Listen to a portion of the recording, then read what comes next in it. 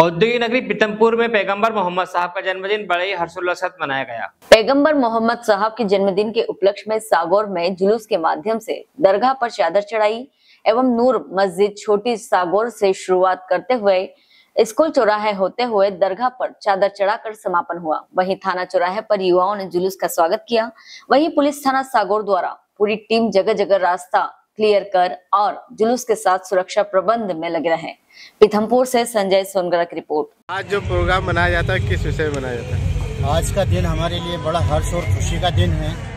आज हमारे हज़रत पैगंबर मोहम्मद साहब का जन्मदिन है और इस दिन को हम बहुत ही हर्षोल्लास के साथ मनाते हैं और इसमें हम पूरे जुलूस डीजे बाजे गाजों के साथ में निकालते हैं। हमारे मस्जिद के इमाम और जितने भी कारी साहब हैं, वो सभी लोग नाते पढ़ते हुए चलते हैं, नारे लगाते हुए चलते हैं। इस दिन लंगर भी बनाते हैं हम लोग, लंगर भी खिलाते हैं। और जगह जगह जो है स्टेज लगा के स्वागत भी करते हैं इसका जुलूस का, है ना? और साथ में हमारे जुमला मिन जानिब की तरफ़ से जो है, एक बहुत बड़ा स्टेज लगा के यहाँ पे स्वागत किया गया है।